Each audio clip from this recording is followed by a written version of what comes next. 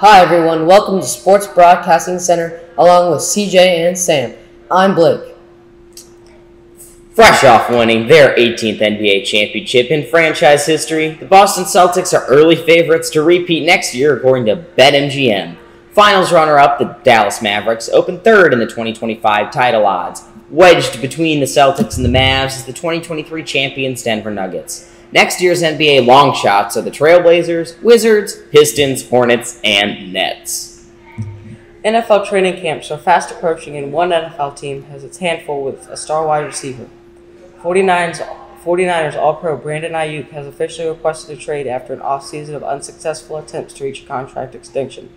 Earlier this summer, Aiyuk posted a video on TikTok of himself telling former Arizona State teammate, current Washington Commanders quarterback, Jayden Daniels that the 49ers don't want him back.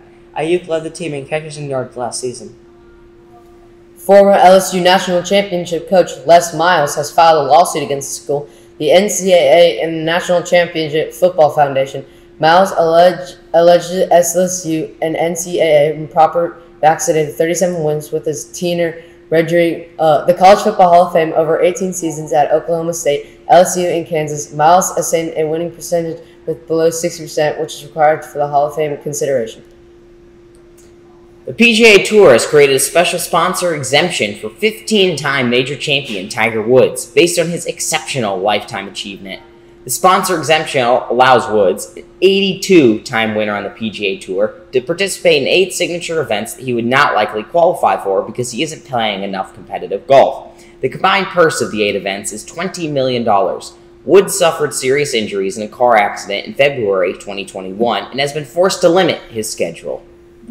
Super Bowl champions Kansas City Chiefs might have a new home. Kansas lawmakers approved a plan for for luring the Chiefs and Kansas City Royals away from Missouri after authorizing state bonds to help finance new stadiums and practice facilities for both teams on the Kansas side of the metropolitan area. The Chiefs would likely spend 500 to 700 million dollars in private funds on a new stadium. The Chiefs have won three Super Bowls since 2020. That's it for a busy day of sports. For my co-anchors, CJ and Sam, I'm Blake. Thanks for watching Sports Broadcasting Center.